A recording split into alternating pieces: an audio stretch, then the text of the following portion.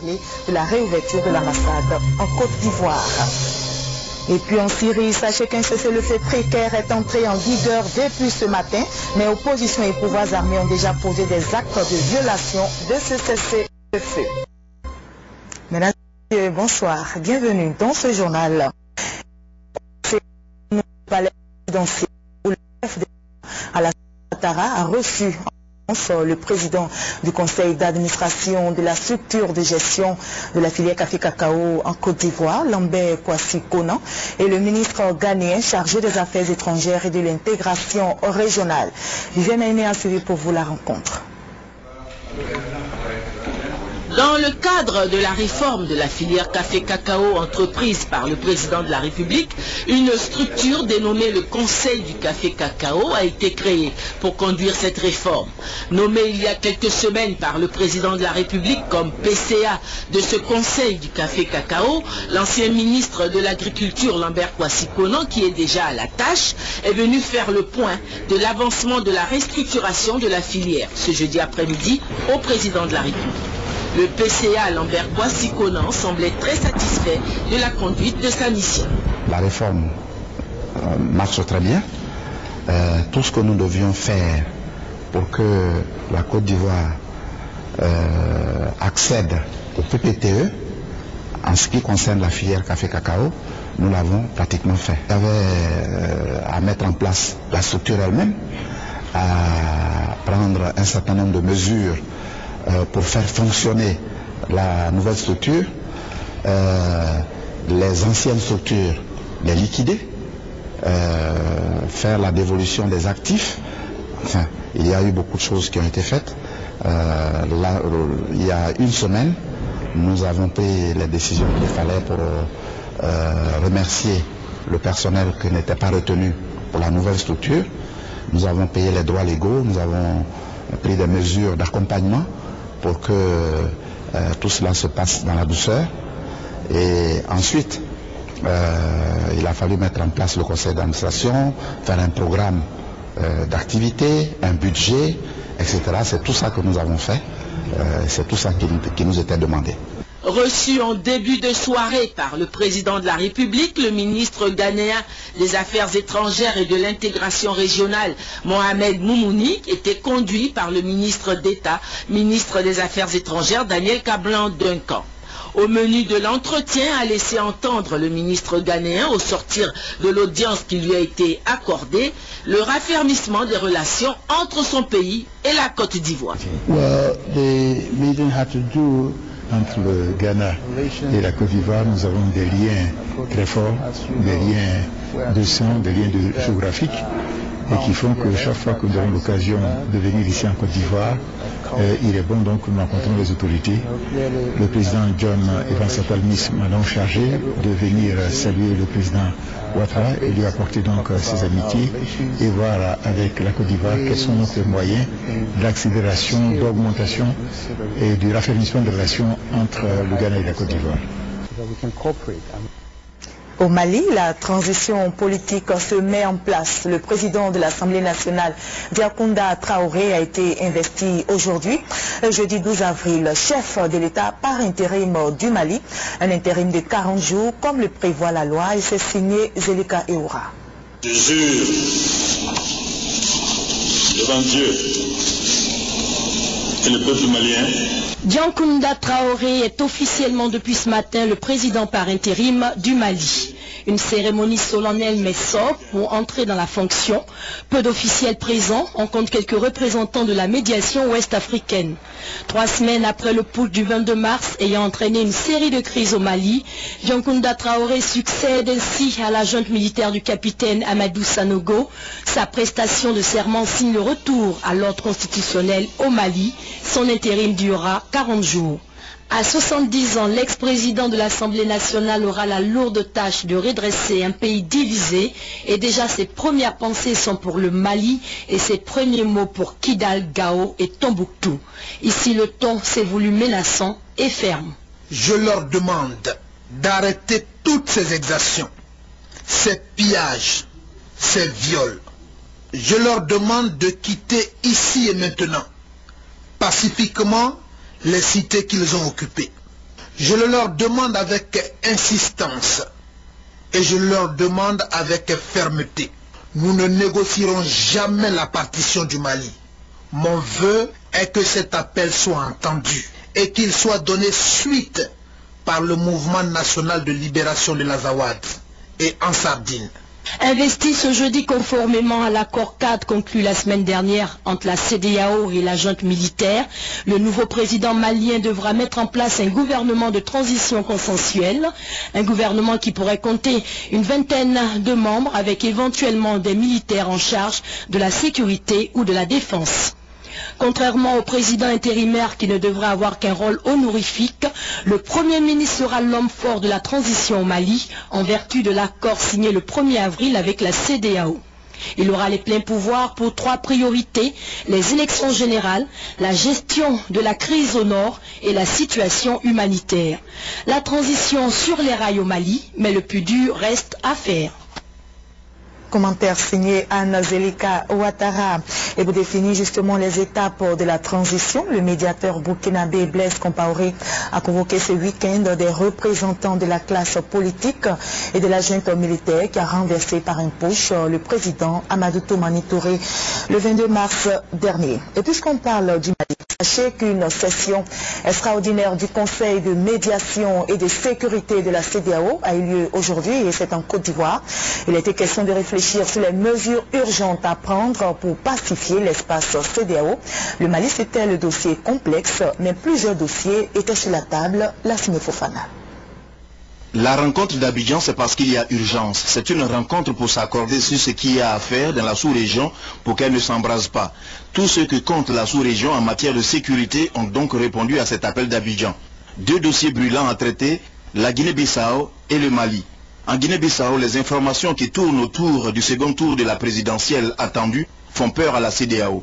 Le président de la Guinée-Conakry, Alpha Condé, a été désigné médiateur pour parer au plus pressé. Au Mali, la junte militaire a accepté de rétrocéder le pouvoir aux civils, mais les Touaregs ont déclaré l'indépendance du Nord. Face à ces situations, les chefs d'État et de gouvernement de la CDAO, lors des sommets successifs tenus à Abidjan, les 27 et 29 mars 2012 et à Dakar le 2 avril 2012 ont pris des décisions courageuses et ont donné des orientations claires visant non seulement au retour de l'ordre constitutionnel, mais aussi au maintien de l'intégrité territoriale du Mali, intégrité territoriale qui n'est en aucun cas négociable. Situation pas négociable, les conséquences sont trop graves selon Kadre Ouedraogo. En effet, cette situation porte en elle les risques non seulement d'une criminalité accrue dans la zone, mais aussi d'une aggravation des problèmes de déplacés internes et de réfugiés nés des différents combats au nord du Mali. Voici donc pourquoi la CDAO et tous ses partenaires sont au chevet du Mali pour prévenir plutôt que de guérir. Et justement, il y a quelques instants, les travaux d'Abidjan viennent de s'achever. La CDAO prévoit faire une déclaration demain vendredi, déclaration relative au coup de force en cours en Guinée-Bissau. Mais on le sait déjà, la CDAO juge inacceptable cet autre coup d'État et le condamne. Sur le Mali, la CDAO reste ferme. La partition du pays ne sera pas acceptée. Puisqu'on parle de la Guinée-Bissau, sachez euh, pour le rappel des faits que des militaires ont pris ce jeudi soir le contrôle de la radio nationale et euh, la radio nationale est donc fait évacuer les locaux tandis que d'autres soldats se répandaient dans les rues de Bissau, la capitale, occupant le siège du parti au pouvoir. La résidence du Premier ministre Carlos Gomes Jr. aurait été attaquée. sachez que l'opposition bissau-guinéenne menée par Kumbayala, qui doit affronter le 29 avril au second tour de l'élection présidentielle, Carlos Gomes Jr avait appelé au boycott du scrutin et mis en garde quiconque battrait campagne. Carlos Ogom avait obtenu au premier tour le 18 mars 48,97% des voix et Kumayala 23,26%. La campagne électorale pour le second tour est censée débuter vendredi pour s'achever le 27 avril. Retour en Côte d'Ivoire pour faire le point de la rencontre de travail du Premier ministre Aoussou Kouadio Jano avec les diplomates de la Grande-Bretagne et de l'Australie accrédités en Côte d'Ivoire au centre des échanges, la réouverture de l'ambassade de Grande-Bretagne en Côte d'Ivoire au mois de mai prochain et des investissements privés australiens en Côte d'Ivoire. Le Premier ministre a aussi parlé de coopération et de défense des droits de l'homme avec un responsable de l'ONUCI chargé des droits de l'homme, Charles Naoré.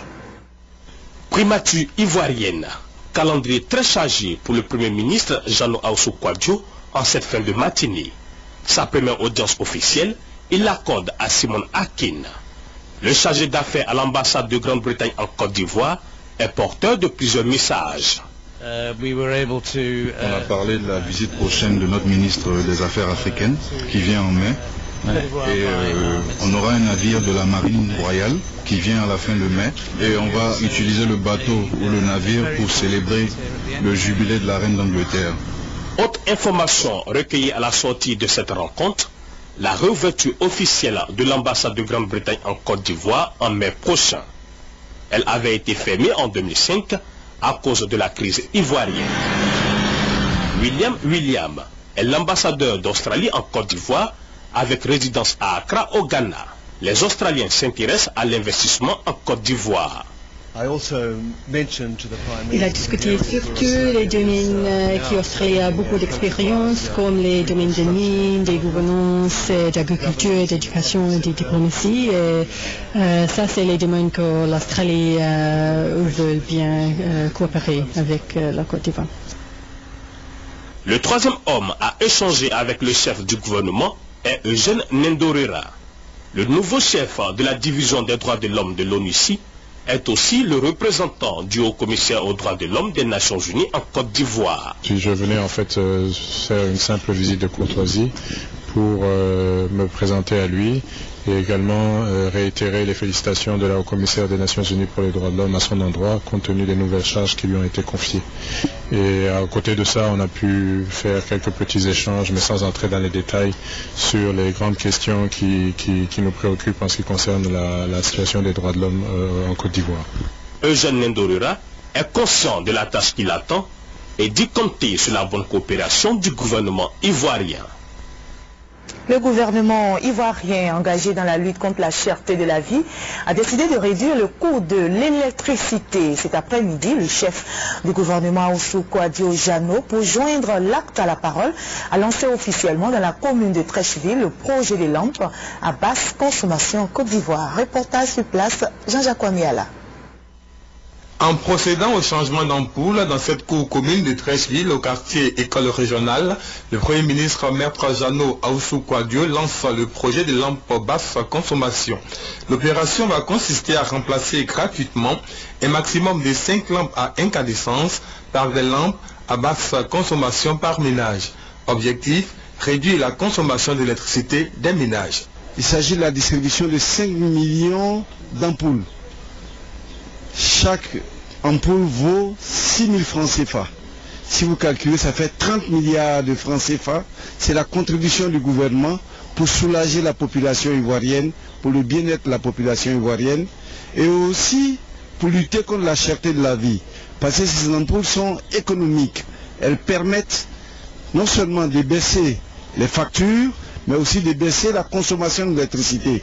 Pour les deux familles bénéficiaires de ces ampoules fluorescentes, c'est un véritable ouf de soulagement. Avant, j'étais avec ma famille, tout ça là, 40 000, 50 000 de fois. Et, et puis je suis retraité, il y a, a plus l'argent. Si on m'a diminué les prix comme ça, je suis, je suis content. Et maintenant, je pense qu'avec euh, euh, l'idée qui vient d'arriver, je pense que la consommation serait basse. Pour la phase pilote de l'opération, 200 000 lampes seront distribuées et installées gratuitement. Deux communes ont été retenues, Yamoussoukro et Trècheville. Après la phase pilote, le programme va se poursuivre dans les communes d'Abobo et Yopougon. Le programme, selon le ministre des Mines, du Pétrole et de l'Énergie, va s'étendre sur deux ans pour la couverture nationale et consistera à la distribution d'environ 5 millions de lampes basse consommation. Le projet créateur de plus de 5 000 emplois temporaires pour les jeunes va permettre à l'État d'économiser 2 milliards de francs CFA par an en matière d'achat de combustible et d'électricité. Coût du projet 11 milliards de francs CFA, une priorité du gouvernement. La date euh, du 11 avril 2011 marque le dénouement de la crise post-électorale en Côte d'Ivoire. Je vous propose de revenir euh, sur ce souvenir et surtout de nous pencher sur le rôle prépondérant joué par l'ex-premier ministre, actuel président de l'Assemblée nationale, Guillaume Soro, dans le dénouement de cette crise. Jérôme Kofi Aboulin. On le savait, grand syndicaliste, mais c'est à la faveur de la crise politico-militaire que Guillaume Kibafori Soro va révéler ses qualités de redoutable tacticien. Alors que beaucoup se demandaient s'il n'avait pas basculé dans le camp Laurent Gbagbo, Guillaume Kibafori Soro va démontrer le contraire en ayant le courage, au soir du scrutin du 28 novembre 2010, d'aller à la résidence de l'ancien chef d'État pour l'informer de sa défaite. Se mettant au-dessus de toute compromission, le Premier ministre sortant va choisir le camp de la vérité des urnes. C'est ainsi qu'il va remettre sa démission entre les mains du président élu, président choisi donc par le peuple, en l'occurrence Alassane Ouattara. Guillaume Kibafori Soro se conformant donc à la Constitution et à l'accord politique de Ouagadougou. Convaincu que le président sortant ne remettrait jamais le pouvoir de façon pacifique, Guillaume Kibafori Soro va appeler les Ivoiriens à la révolution orange. C'est suite à cet appel que les Ivoiriens, notamment les femmes, sont descendus dans les rues de manière pacifique pour réclamer le départ de M. Laurent Gbagbo. Ni ces manifestations, ni les différentes médiations, ni les offres d'amnistie du chef d'État élu n'ont pu infléchir la position du président sortant. Bien au contraire, les miliciens et autres mercenaires à la solde de l'ancien président vont intensifier les massacres et exactions contre les populations civiles. Pour mettre fin à cette tuerie généralisée, Guillaume Kibafori Soro, en sa qualité de ministre de la Défense, prend la tête des FRC pour mener l'opération en vue de la libération totale de la Côte d'Ivoire. En moins de deux semaines, lui et ses hommes vont libérer toutes les régions du pays. Aux abords de la ville d'Abidjan, il lance un appel à la reddition aux dernières forces fidèles à Laurent Gbagbo pour éviter un bain de sang dans la capitale. Certains éléments des FDS, dont des généraux, rejoindront le camp de la légalité après une semaine de combat ponctuée par les frappes internationales pour neutraliser les armes lourdes de Laurent Gbagbo. Les FRC réussiront à pénétrer dans le bunker et à capturer le président sortant vivant. De l'accord politique de Ouagadougou au dénouement de la crise post-électorale le 11 avril 2011, Guillaume Kibafori Soro aura fait montre de ses qualités de meneur d'hommes, de courage et de loyauté. Forces républicaines de Côte d'Ivoire FRCI ont aussi joué leur partition pour mettre fin au déchirement de la Côte d'Ivoire qui s'engouffrait dans une crise sans précédent. Abou Sanogo. Parti de l'ouest du pays le 28 mars 2011 dans le cadre de l'opération de sécurisation des villes du pays, les forces républicaines de Côte d'Ivoire avaient auparavant pris le contrôle des villes de Toulepleu et de Bleu-le-Quin pour couper la route aux mercenaires libériens recrutés par l'ancien président Laurent Gbagbo. Cette stratégie leur a permis de s'emparer de la quasi-totalité des villes du pays en seulement 72 heures. À cet effet, le général Michel Gu, commandant du fuseau ouest de l'opération Restaurer la paix et la démocratie en Côte d'Ivoire, avait laissé entendre que l'avancée des forces républicaines de Côte d'Ivoire se poursuivrait. Aussitôt, l'offensive lancée sur tous les fronts fait tomber les unes après les autres beaucoup de villes jusque-là sous contrôle des forces de défense et de sécurité proches de l'ex-président. Ainsi de l'ouest, de l'est comme du centre, les forces républicaines de Côte d'Ivoire foncent vers le sud avec en point de mire Abidjan, le siège des institutions. L'état militaire se resserre sur l'ancien président. Beaucoup d'éléments des forces de défense et de sécurité rejoignent les forces républicaines de Côte d'Ivoire. Une grande offensive de celle-ci met la pression sur le clan de l'ex-président.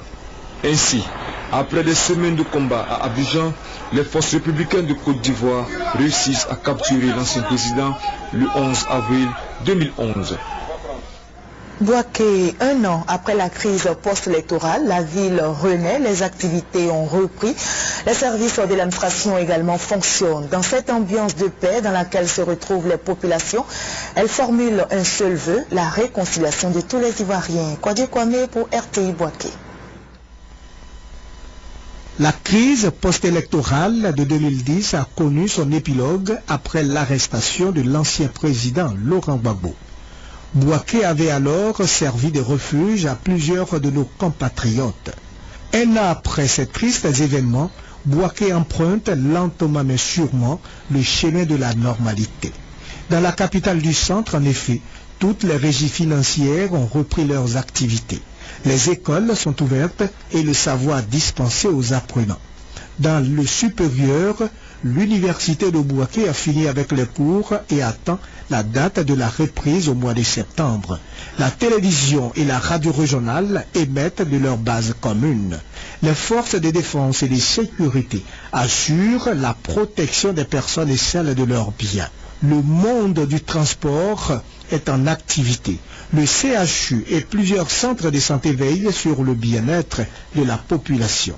Dans le secteur privé, les banques, les assurances et les grandes surfaces sont ouvertes.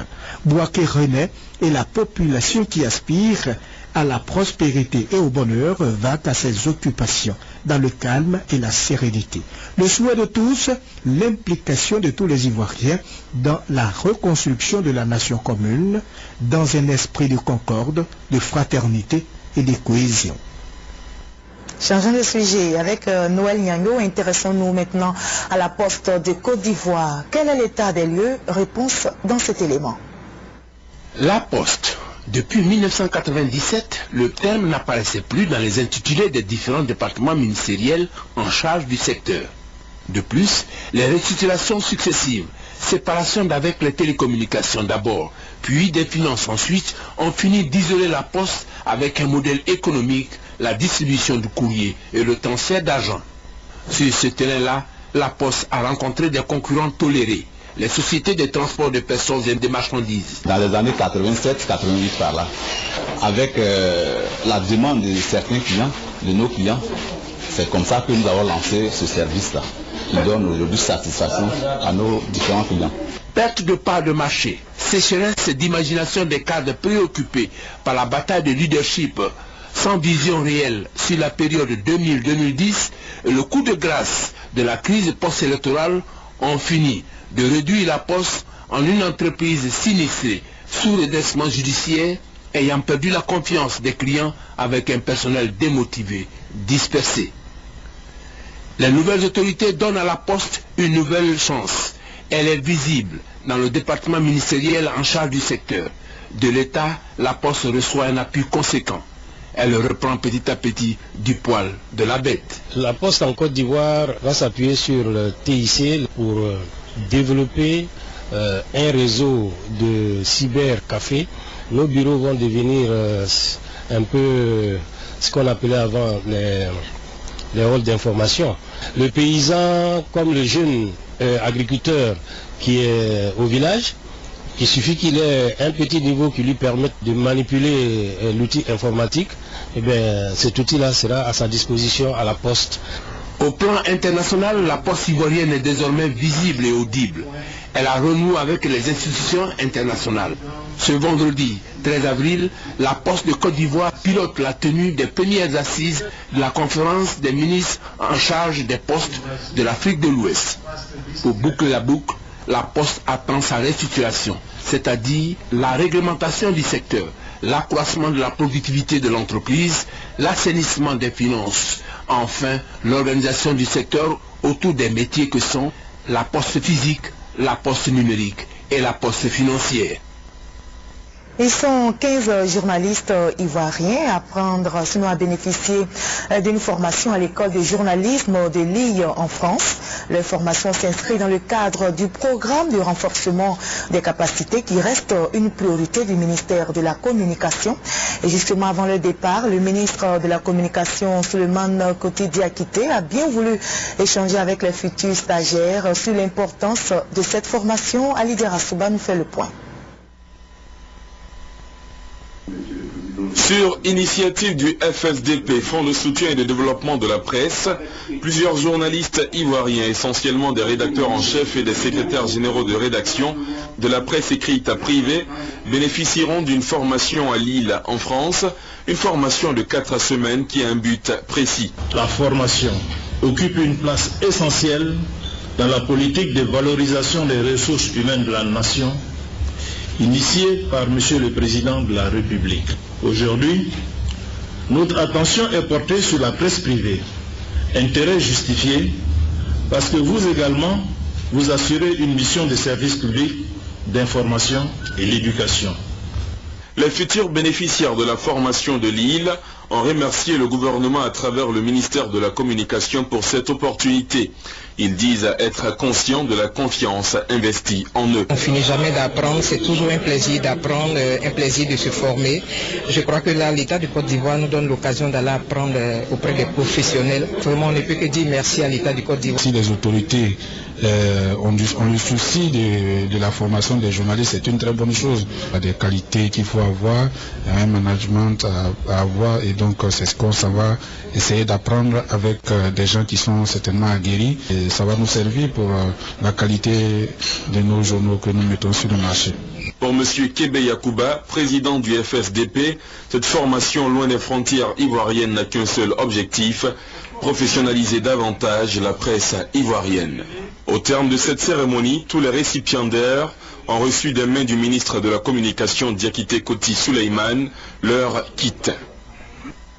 Parlons à présent de la 19e réunion de l'AFRITAC, le Centre régional d'assistance technique du FMI pour l'Afrique. Le ministre de l'économie et des finances, Charles Dibukofi, était à l'ouverture de cette concertation qui fera le bilan des réformes des finances publiques dans les pays de l'UEMOA, de la Mauritanie et de la Guinée. Jean-Jacques Wamiala. Ouvrant la série des interventions, le ministre de l'économie et des finances, Charles Kofi a noté les défis majeurs auxquels la zone UEMOA est confrontée au moment où se tiennent les assises de la 19e session du comité d'orientation d'Afritac, entendez, Centre régional d'assistance technique du FMI pour l'Afrique de l'Ouest. Au niveau des chocs exogènes, le ministre a rappelé l'impact de la crise de l'euro et la forte volatilité des prix du pétrole brut et ses produits dérivés qui accroissent les difficultés des économies sous-régionales dans un contexte de cherté de la vie. Cette situation place nos finances publiques dans un état de fragilité qui impose davantage de discipline, de rigueur et surtout beaucoup de transparence dans la gestion de nos finances publiques. À cet égard, la qualité de la dépense à travers la maîtrise de la dépense et l'optimisation du potentiel fiscal constituent des enjeux importants qui justifient dans une large mesure le besoin de coopération entre États et également à travers l'assistance technique de nos partenaires. Ces assises offrent l'occasion d'approfondir notre analyse de ces défis et leurs implications sur la gestion publique dans la recherche constante de l'optimisation des ressources mobilisables en termes d'assistance technique pour permettre à nos États d'apporter une réponse appropriée à nos difficultés. Le représentant du ministre des Finances du Niger, président en exercice du comité d'orientation de l'Afrique de l'Ouest, a relevé les axes majeurs de ces assises. Il s'agira, entre autres, pour les participants, de passer en revue le programme annuel de l'Afrique de l'Ouest, approuvé en mars 2011 à Bamako. Depuis septembre 2010, la BCAO mène une campagne pour la promotion de la bancarisation et l'utilisation des moyens de paiement modernes dans la zone UEMOA. À mi-parcours de cette campagne, un point a été fait ce matin au siège de la BCAO. La BCAO voudrait qu'à la place de l'argent qui circule, l'on voit un chèque ou une carte. C'est le message principal, nous dit la Fofana. En 2009, ce sont environ 9 personnes sur 100 qui ont compris qu'il faut coopérer avec les banques et autres institutions financières. À ce jour, ce sont 15 personnes sur 100. Il y a une avancée, certes, mais elle reste largement en deçà de ce que la BCAO aurait souhaité pour cette année. 20 personnes sur 100, donc 20%. Première conclusion, elle reste nombreuses les personnes qui sont à la marge de la finance moderne. Deuxième conclusion, l'économie informelle résiste toujours à l'avancée de l'économie moderne et comme aucune économie n'est viable sur le long terme si elle ne peut se bancariser, Il faut donc y aller franchement. Voici le plaidoyer de Jean-Baptiste Ayaye, directeur national de la BCAO. Il a d'ailleurs souhaité de plus que les institutions financières optent pour la loi du grand nombre, permettent aux personnes qui ont un revenu régulier d'au moins 50 000 francs CFA d'obtenir des comptes bancaires. Ce plaidoyer est soutenu par le ministère de l'économie et des finances qui n'y voit que des avantages. Faire en sorte que, notre pays soit émergent. Un pays émergent, évidemment, c'est le pays qui euh, manipule ces nouveaux instruments. Et nous ne devons pas être à l'écart de ce développement-là. Les travaux d'aujourd'hui visent à développer l'utilisation et l'acceptation massive des chèques, des cartes bancaires et les effets du commerce par tous, sécuriser ces instruments de paiement, réduire la circulation des billets et monnaies, comme au Maroc, en Tunisie, en Afrique du Sud ou au Kenya, des pays africains où l'on avoisine les 60% de bancarisation. Je vous livre à présent ce communiqué avant d'aller pour les nouvelles en Algérie et en Syrie.